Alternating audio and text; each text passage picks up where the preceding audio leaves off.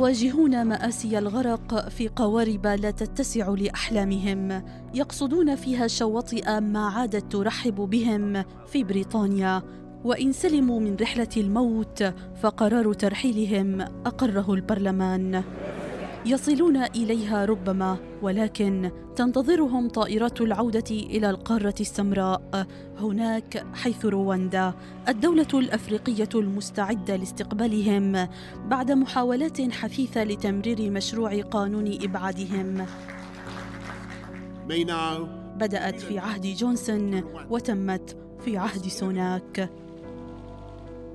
I'm committed to stopping the boats. We need to have a deterrent. Rwanda is ready too. And I'd like to thank the government of Rwanda for their work.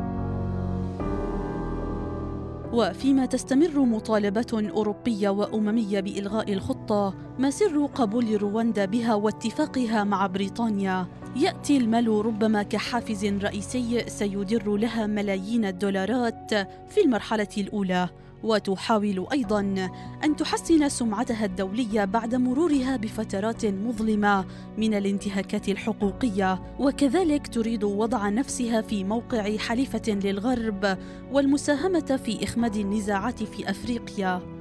وبينما تبدو رواندا راغبة باستقبالهم لا يبدو الأمر كذلك بالنسبة للمهاجرين غير النظاميين بل إنه بمثابة نكسة قد تعيدهم إلى نقطة الصفر.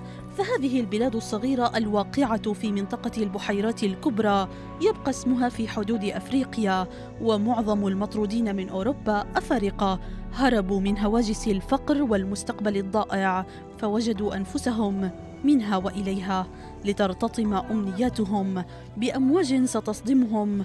أن عودوا من حيث أتيتم. إسراء الصغير العربية.